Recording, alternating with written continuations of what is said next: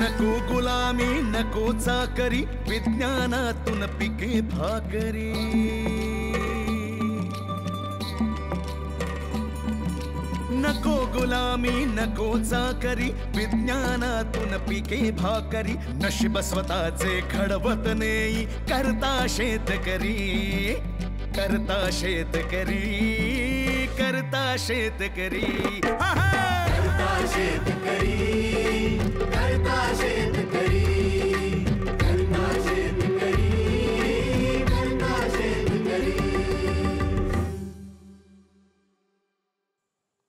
नमस्कार मंडळी.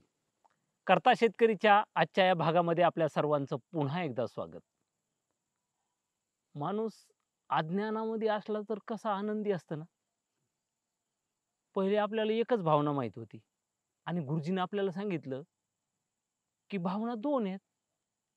एक दिसणारी भावना आणि दुसरी लपलेली भावना. आणि मग गुरुजीनं मागच्या भागात लपलेल्या भावनेबद्दल सांगितलं. आणि मग ती शोधायचा प्रयत्न केला. आणि खरंच ना सापडली ना. आईच्या बोलण्यात भावाच्या बोलण्यात वडिलाच्या बोलण्यात बायकोच्या बी बोलण्यात. म्हणजे ते जरी आपल्यावर असं खवळून कातून जरी बोलत असले तर हे झालं दिसती भावना. पण त्याच्या आतमध्ये जी लपलेली भावना आहे ती जाणून घेण्याचा आत्ता आत्ता पहिल्यांदा प्रयत्न केला. खरं तर जर समजा हे पहिल्यांदाच माहीत असताना आधीच तर त्या टायमाला त्यांचा लय राग आला नसता. आपण आपल्यामध्ये पटकन सुधारणा करून घेतली असती. आणि माणसाला जर सुधारणा करून घ्यायची असेल तर त्याच्याशिवाय म्हणजे शिकण्याशिवाय दुसरं गत्यंतर नाही. आता गुरुजीकडून हे जरा हे सगळेच प्रकरण जरा आपण नीटच समजून घेऊ. गुरुजी राम राम. किती खरं बोललास तू आता की आपण जी भावना पुढे येते तीच फक्त असते असं धरून चालतो. जी आणि- हा जी दिसते तीच. हो, पण हो. त्याच्यामागे बऱ्याच वेळेला अगदी विरोधी भावना असते. हो हो हो हो. म्हणजे संतापी दिसणारी भावना असेल हो. तर त्याच्यामागे प्रेम असू शकतं. हो. हो आणि कधी कधी प्रेम ही दिसणारी भावना असली तरी आतमध्ये संताप असू शकतो. लपलेला. हो, हो. म्हणून लपलेली भावना आणि दिसणारी भावना हे जे गणित आहे ना हो. अ, ते आपण निरीक्षण करायला शिकलं पाहिजे स्वतःमध्ये सुद्धा आणि दुसऱ्यांमध्ये सुद्धा बरोबर आहे एक अ, उदाहरण मला आठवलं की भक्ती रस म्हणतो आपण भक्ती भावना हो, हो. आता बघा दिसायला भक्ती भावना आहे हो. हम्म, पण आपले सगळे संत होते ना. अ, ते कधी कधी त्या देवासोबत विठ्ठलासोबत भांडायचे सुद्धा भांडायचे. हो हो हम्म. हो. कधी कधी अगदी आर्त होऊन त्याची याचना करायचे. हो. कधी कधी स्नेहाचा आणि प्रेमाचा उमाळा यायचा शिव्या पण द्यायची हा, शिवाय पण द्यायचे हो, हो. एवढंच काय मीराबाईंसारख्या संत कवयित्रींच्या मध्ये आपल्याला शृंगार रस सुद्धा. प्रेमाचा रस सुद्धा. आपल्याला सापडतो हो. म्हणजे भक्तीमध्ये ना. कोणताही रस मिसळा त्यामुळे भक्तीचं एक नवीन परिमाण एक डायमेन्शन आपल्यासमोर येतं. म्हणून रसिकता वाढवायची असेल तरी सुद्धा ना. दिसणारी भावना काय लपलेली भावना काय शोधायला पाहिजे बरोबर म्हणजे हो, हो. पुस्तक वाचताना गाणं ऐकताना नाटक पाहताना चित्रपट पाहताना. सगळ्या ठिकाणी हो. याचा उपयोग आहे आणि ह्याच्यातून आपण गेल्या वेळी काय शिकलो की ह्या निरीक्षणातून आपल्याला आपल्या भावनांचा अवेअरनेस. म्हणजे भावनांची जाण ते भान. आपल्याला मिळतं आणि ती आपला भावनांक वाढवण्याची अगदी अगदी अगदी पहिली पायरी आहे. मग आता पुढचा टप्पा. अवेअरनेस नंतर ऍक्सेप्टन्स म्हणजे स्वीकार. हो? आता तू म्हणशील भावनांचा स्वीकार करायचा म्हणजे काय करायचं. तर मी जी भावना अनुभवतोय आणि जी भावना मी व्यक्त करतो आहे त्या भावनेची जबाबदारी माझी आहे. त्या भावनेची जबाबदारी ना पण आम्हाला फक्त चांगल्याचीच जबाबदारी घ्यायची सवय आलोच मी त्याच्याकडे की ही जी जबाबदारी आहे ना घेणं त्या आपल्यामध्ये कसं असतं तू म्हणालास तसंच. चांगल्या भावना आल्या ना सगळ्या हो, तर हो. त्या माझ्या बरं का हा. म्हणजे मी किती हसतमुख स्वभावाचा आहे हो, हा. आणि मी प्रत्येक अडचणीला कसा अगदी धीरोदात्तपणे तोंड हो, देतो आणि मैत्री या भावनेला जागणारा तर माझ्यासारखा दुसरा कोणीच नाही. वगैरे सर वगैरे आमच्या. पोराचे आता पोस्टर असतात. मैत्रीच्या दुनियातला राजा माणूस. हा. आणि सगळ्याचेच पोस्टर सगळ्यांची तशीच असतात हा. त्यामुळे जेव्हा सुखद भावनांची जबाबदारी घ्यायची असते तेव्हा आपला काही प्रॉब्लेम नसतो. हम्म. तुझी माझी अडचण कुठे सुरू होते माहितीये का? की दुःखद भावना निगेटिव्ह भावना ज्या आहेत ना त्यांची जबाबदारी आपण दुसऱ्यांवरती सारायला बघतो. म्हणजे किती वेळा हे वाक्य तू ऐकलं असशील आणि मी पण ऐकलं आहे की ही माणसं अशी आहेत ना ती भडकवतात हो. मग भडकवल्यावरती भडका नाही का उडणार? कोणी टेन्शन देतात हो ह्याच्यामुळे माणसं. बिघडलंय. याच्यामुळे बिघडलं. ह्यानं टेन्शन दिलं. त्यानं टेन्शन दिलं.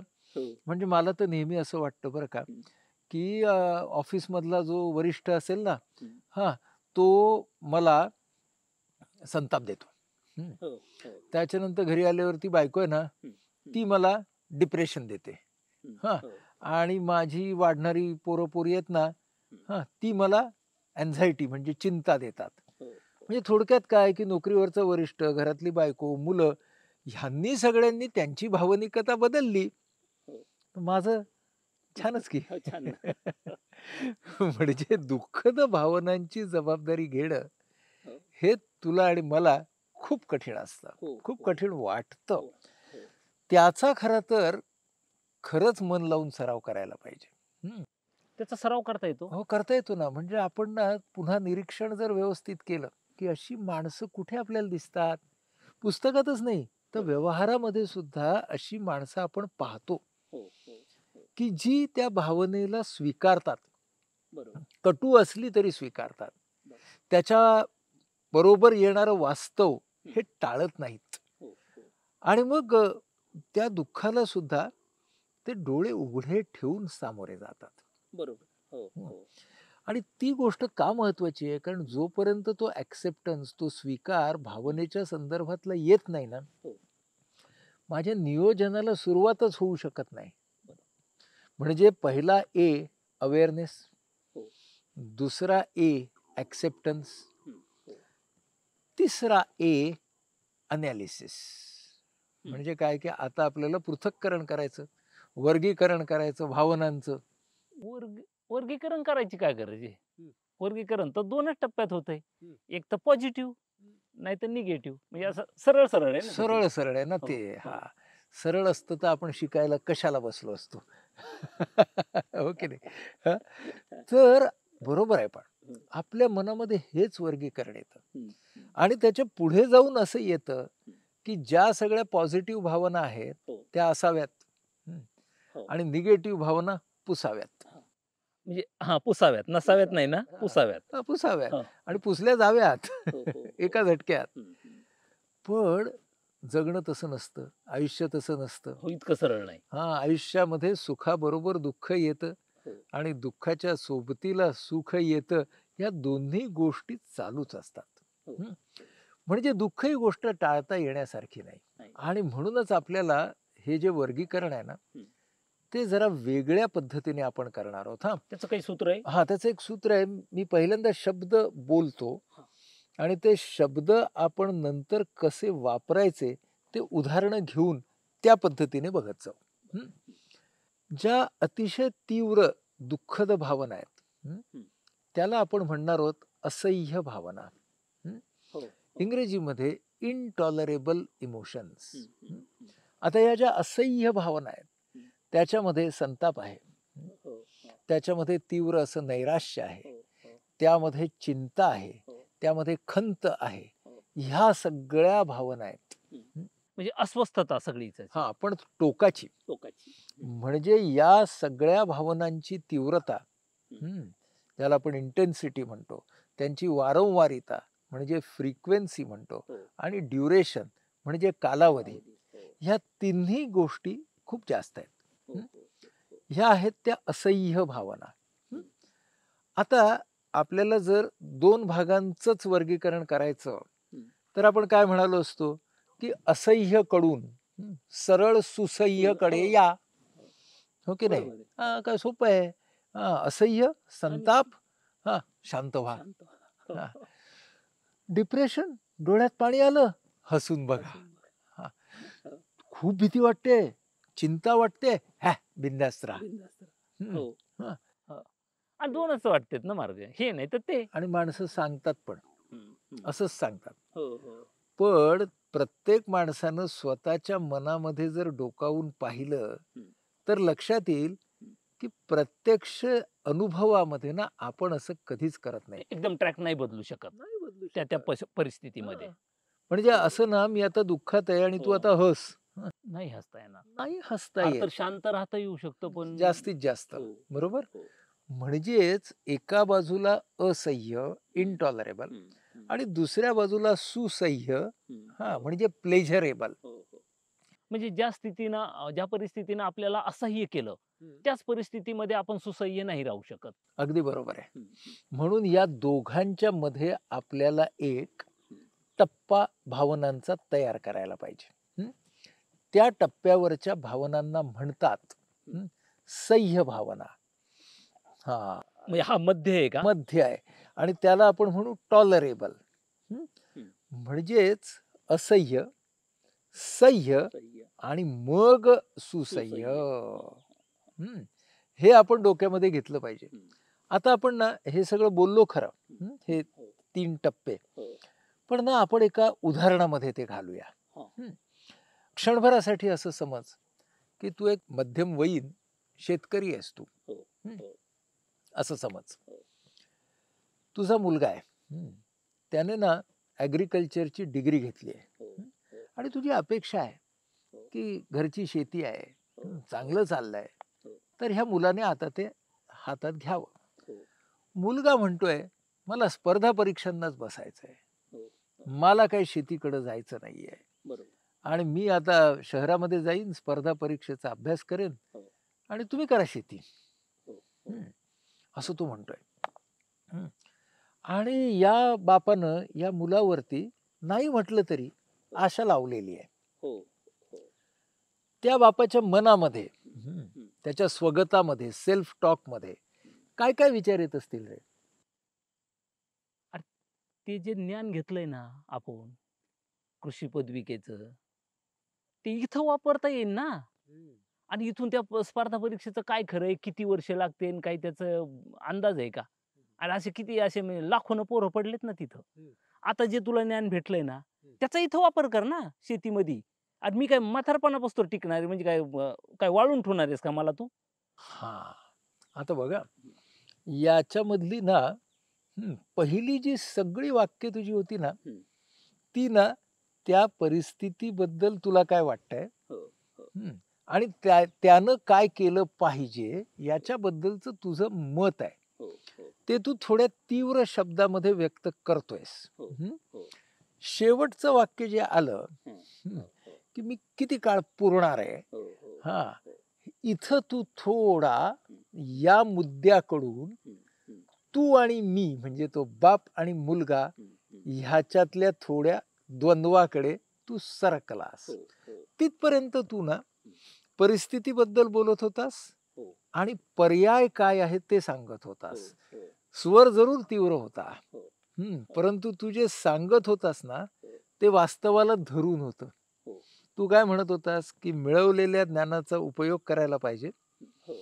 आणि जिथं यशाची शक्यता कमी आहे तुलनेने तो मार्ग घेण्यापेक्षा दुसरा मार्ग उपलब्ध असेल तर घ्यावा हो, हो. बरोबर आहे हो. आता समजा मी तुझा मुलगा आहे आणि मी तुला ना तुम्हाला काहीच समजत नाही वगैरे असं काहीतरी तुला मी बोललो. आणि. करा ना तुमची शेती आहे. शेतीत काय आहे वगैरे असं जरा अपमानकारक बोललो. हो. तर मग तुझे विचार कुठे जातील बघ? पण मग काय लय लांबलक काय?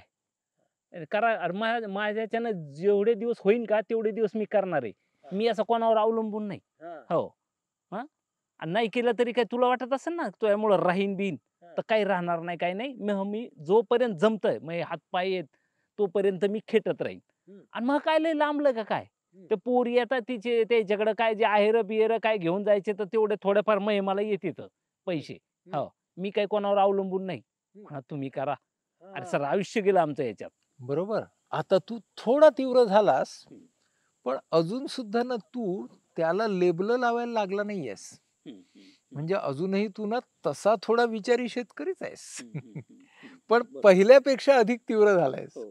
आता जर अजून तीव्र झालास हा तर काय करायला लागशील माहितीये का? मग अपशब्द येतील. हो हो.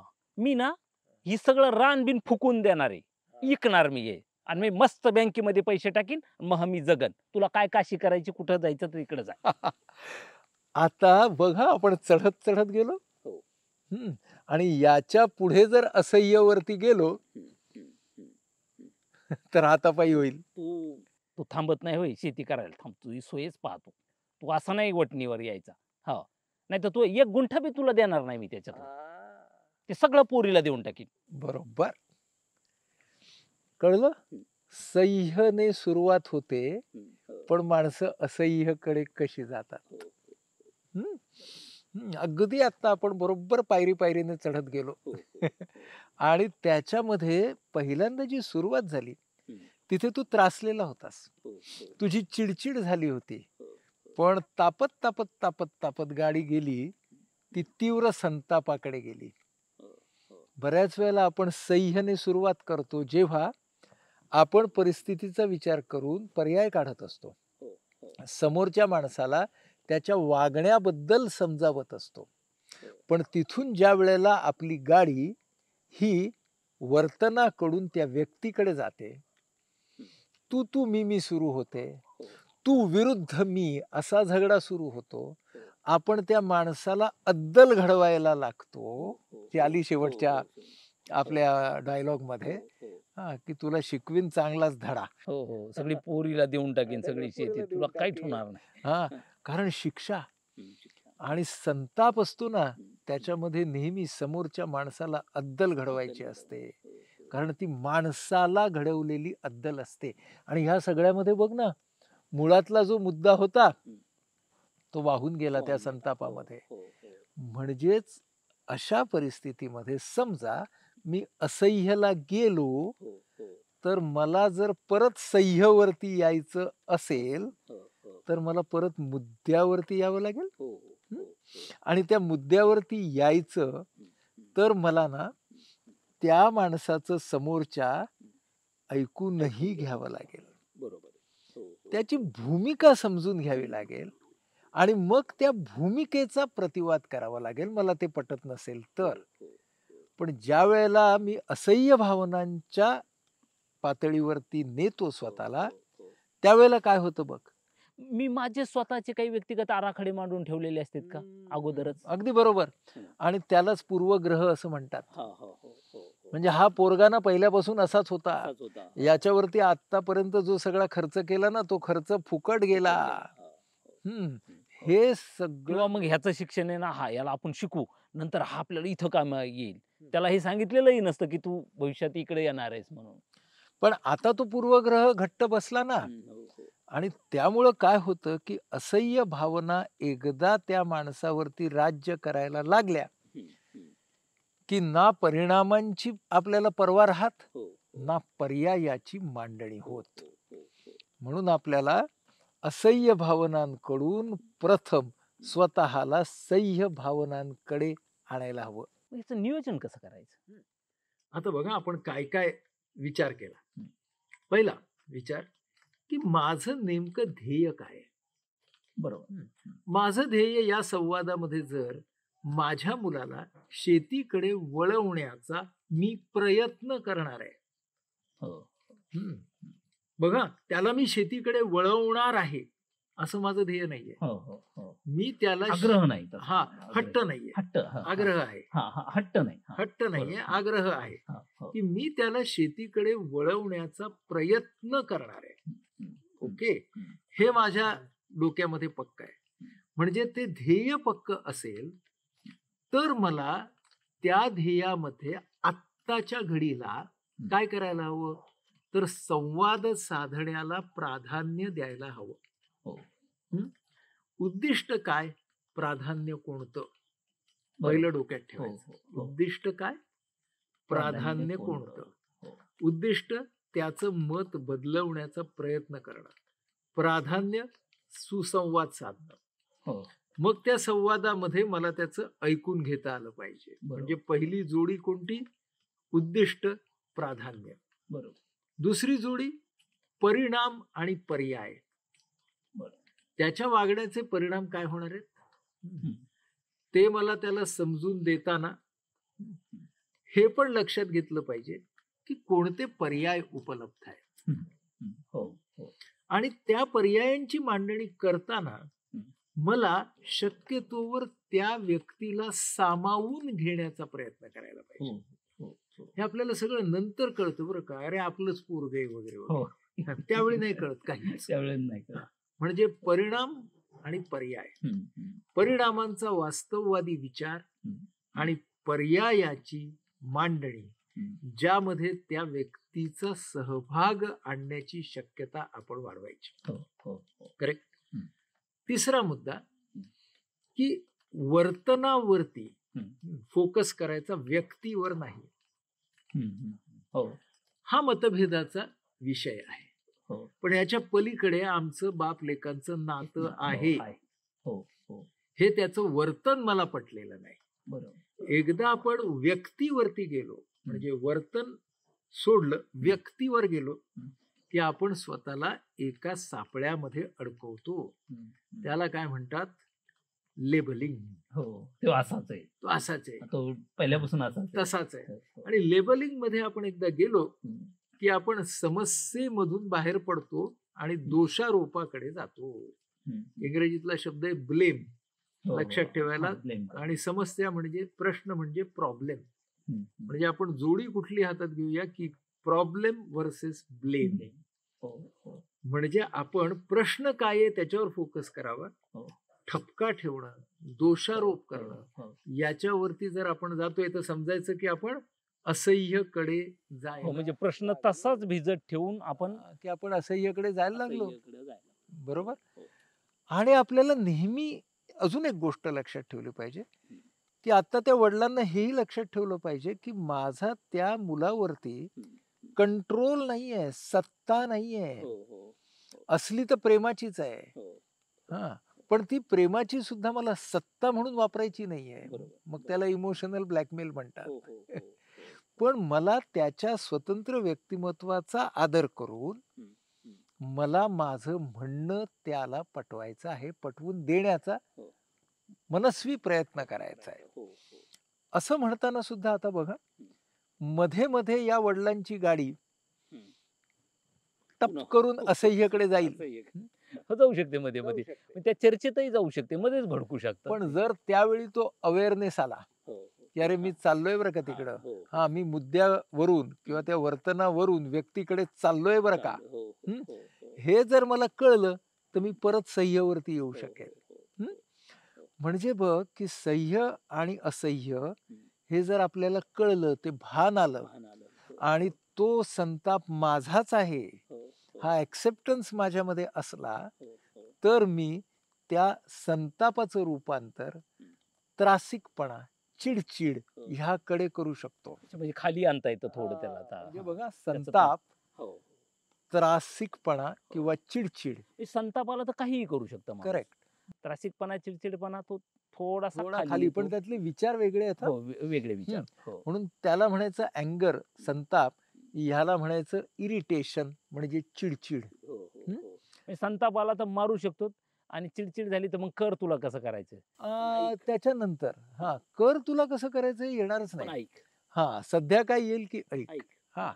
हा. तर ते ऐक एवढं येईल. हम्म. आणि कर तुला कसं करायचं ते ह्याच्या ऐवजी असं वाक्य येऊ शकतं की शेवटी ना तू जे काही करणार आहेस हो, हो. त्याची जबाबदारी तुलाच तुला घ्यायची आहे हो. पण तरीही माझं जरा ऐक. असं आपल्याला असह्य वर्ण सह्यवरती यायला लागतं? आणि मग त्या सह्यवरून सुद्धा डायरेक्ट काही सुसह्यवरती येता येत नाही कारण लगेच काय तो मुलगा ऐकेल असं नाही हं, बरोबर. की हो बाबा आता माझ्या मनामध्ये परिवर्तन झालंय. हा ही काळी आई हीच माझी आई वगैरे वगैरे. हो, हो, ते हो. चित्रपटात आता होतं. यातूनच मी काहीतरी करून हा, दाखवणार. हा. तर हे चित्रपटात होतं. म्हणजे त्या वडिलांना हे पण लक्षात ठेवावं लागेल की सुसह्य भावनांच्या कडे जायचा टप्पा येण्यासाठी आपल्याला धीर धरावा लागणार आहे. हो, हो, हो. प्रयत्न करावे लागणार आहेत. हो, हो, हो. आपल्याकडून संवादाचे दरवाजे उघडे ठेवावे लागणार आहेत बरोबर. हो, हो, तेव्हा कदाचित कधीतरी त्या सुसह्य भावनांची पहाट येईल हो. आता सुसह्य भावना जेव्हा येतात त्याचा अर्थ मुलगा हा शेतीतच राहील असंही नाही हा बरोबर. हो हो कदाचित तो त्या स्पर्धा परीक्षांच्या साठी घर सोडूनही जाईल जाईल. पण तो आणि त्याचे वडील ह्यांच्यामधला संघर्ष आणि तिढा मात्र सुटलेला हो, असेल. काहीतरी समेट घडलेला असेल. कुठं काहीतरी. मान्य झालेलं असेल कुठलं तरी. आणि समेट जेव्हा होतो हो, हो. आणि आधीच्या संघर्षाची छाया जेव्हा पुसली जाते तेव्हा मग आपण म्हणू की ही सुसह्य भावना आहे. तेव्हा आता आपण ना प्रवास एका उदाहरणातून केला. पण हे ना एका उदाहरणातून पटकन थोडस कळतं. हो, हो. पण वेगवेगळ्या भावना आपल्याला घ्यायच्या आहेत. त्या आपण आपल्या पुढच्या भागांच्या मध्ये घेऊ. हो. आणि पुढच्या भागांच्या मध्ये ना आपण अजून एक गंमत करणार आहोत. ती मी तुला आत्ताच सांगितली की नाही एपिसोड सुरू व्हायच्या आधी. की आपण पुढच्या भागात काय करणार आहोत? ती जरा सांग. आपल्याला ना या भावनांची एक इमारत बांधायची. आणि ती कशी बांधायची? हे आपल्याला गुरुजी मार्गदर्शन करणार आहेत. ती आपल्याला बांधायची. आणि त्या इमारतीचं तर मी तर नाव पण लगे ठरवून ठेवलंय. भावना अपार्टमेंट. ती आपल्याला सहा मजली बांधायची. आता सहा मजली म्हणल्यावर बघा ना तुम्ही अगदी मंत्रालयासारखीच होणार दिसणार का नाही ती? आणि ती सहा मजली ते मजले काय आहेत? हे सगळं आपण गुरुजीकडून समजून घेणार आहेत. त्याच्याशिवाय ही सगळी उकल होणारच नाही. तर नक्कीच भेटू आपण पुढच्या भागात. राम राम. नको गुलामी नको चाकरी विज्ञानातून पिके भाकरी. नको गुलामी नको चाकरी विज्ञानातून पिके भाकरी. नशीब स्वतःचे घडवत मी करता शेतकरी. करता शेतकरी करता शेतकरी.